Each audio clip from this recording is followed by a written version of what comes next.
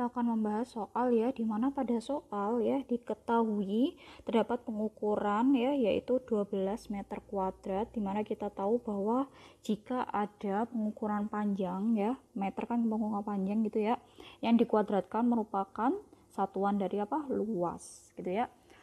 Ditanyakan ya eh, konversi atau perubahan ya dari 12 meter kuadrat menjadi sentimeter kuadrat Oke, langsung saja kita proses ya di mana uh, kita tahu ya bahwa rumusan A atau luas adalah kuadrat dari panjang gitu ya. Jadi kita sudah bisa melihat ya ada uh, semacam tangga gitu ya di sini yang merupakan uh, satuan panjang yang dikuadratkan gitu ya, uh, di mana menjadi satuan luas yaitu yang pertama ada kilometer kuadrat, kemudian hektometer kuadrat, dekameter kuadrat, meter kuadrat, kemudian desimeter kuadrat, sentimeter kuadrat dan juga milimeter kuadrat ya.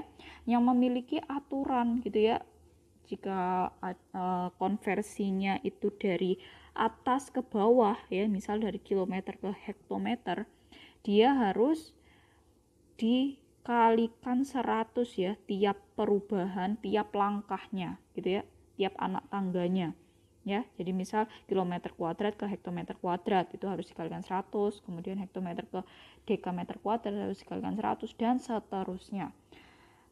Sedangkan jika semakin ke atas ya perubahannya ya konversinya setiap langkahnya harus dibagi 100 oke?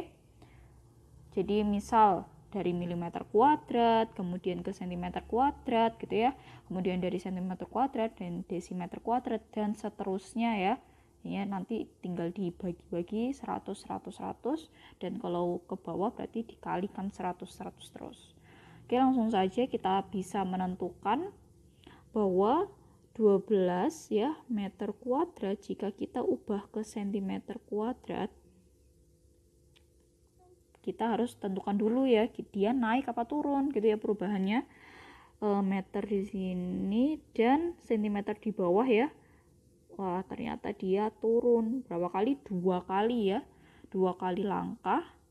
Sehingga kita bisa menentukan bahwa 12 meter kuadrat itu kita kalikan 100 ya. Nah karena dia dua kali berarti kali 100 lagi ya atau kita kuadratkan aja 100 nya sehingga didapatkan berapa? 12 kali 10 pangkat 4 ya. 100 pangkat 2 kan 10 pangkat 4 cm kuadrat. Oke sehingga pada soal ini kita bisa menentukan ya bahwa 12 meter kuadrat adalah 12 kali 10 pangkat 4 cm kuadrat